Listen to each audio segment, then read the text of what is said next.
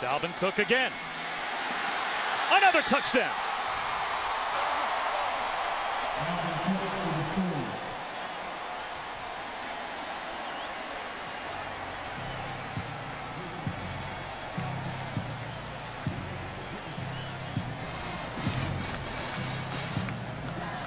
Coach Trickett, offensive line coach, one of the better coaches at that position in college football. Jameis Winston told you two weeks ago at Ole Miss, just that. And he's got his guys up front angry.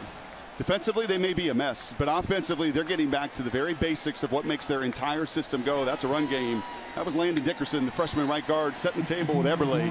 And I'll say it again you allow Dalvin Cook 1,600 yards, seven and a half yards a carry a season ago to get that forward lean, to get that forward momentum and put him in one on one situations or breaking arm tackles or D tackles. Game over.